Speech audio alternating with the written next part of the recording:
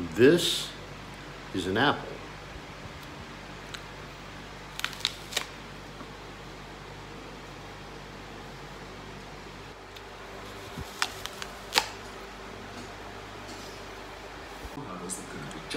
Eventually, this project was canned altogether late in the war when an American bee failed to produce any meaningful quantity of. Oh, and if you're wondering what and Otto Frisch first published their paper on fission, but most of those achieved basically nothing, an enormous explosion, and that the first bomb could be ready within two or so years of maximum use of uranium as a source of power, that was pretty much exactly what you would imagine it to be. Saying words to the extent, focusing today purely on nuclear weapons and not nuclear reactors, we're not going to have time to actually learn what they meant by this.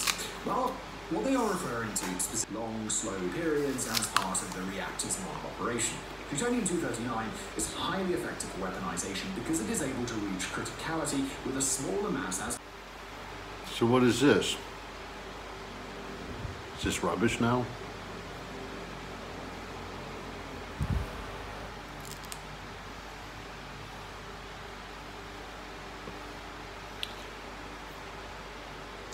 This is rubbish.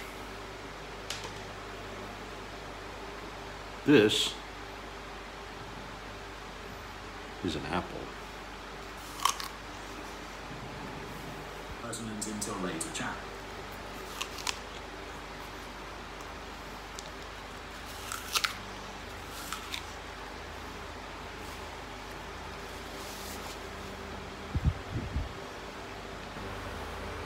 Come 1941, when the report was being published and circulated, the war wasn't exactly going great for the UK, having received an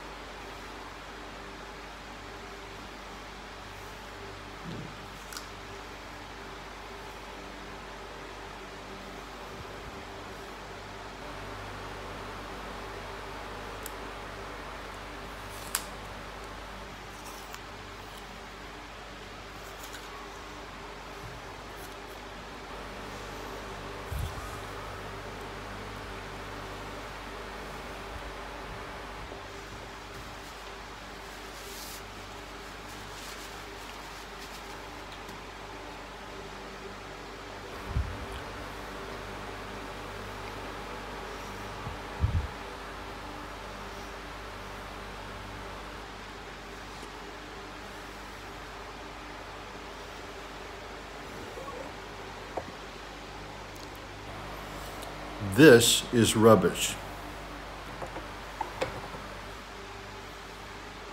That's all. It's an apple. You eat it.